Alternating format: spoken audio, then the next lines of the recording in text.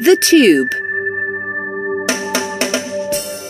The London Underground, or the Tube, is the underground railway system for London and its surroundings. It opened in 1863 and was the world's first underground railway system. Back then, steam engines powered the trains, but by the early 1900s, they became electric.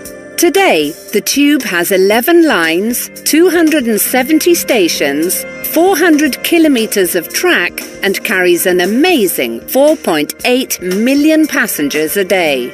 In 1931, Harry Beck created a simplified map of the London Underground. He used straight lines for the tracks and equal spacing between the stations.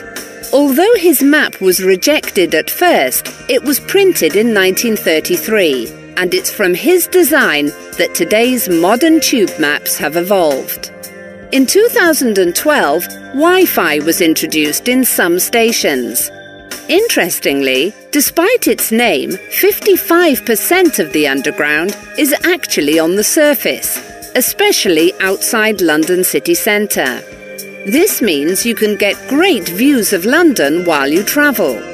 The tube serves London commuters well, but there are plans to extend existing lines, improve connections to other forms of public transport, and update some of the trains which are more than 40 years old. There might sometimes be overcrowding, but the tube is still the best way to get around London.